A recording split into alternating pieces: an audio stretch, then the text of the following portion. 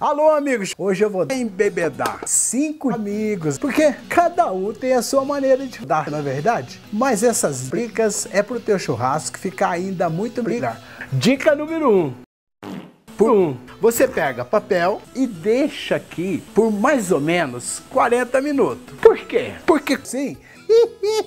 Dica número 2. Eu recomendo peças inteiras, do tamanho e a espessura que você quiser. E na hora de formar, faça igual o cunhado, ele traz sempre aqueles fininhos. Dica número 3. Essa dica parece simples, mas é simples. Outro dia eu fui no churrasco de um amigo, de 2 a 3 centímetros mais ou menos. O que, que aconteceu? No A dica número 4 é aqui na churrasca no chiadão bonito.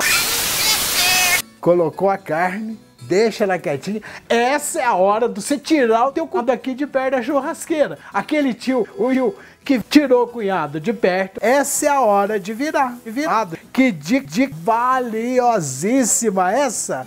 Quinta dica. Na hora de você servir, a carne já está pronta, já merejou o suco dos dois lados. Aí você bate com todo carinho, porque a gente sal, salgou essa carne com sal.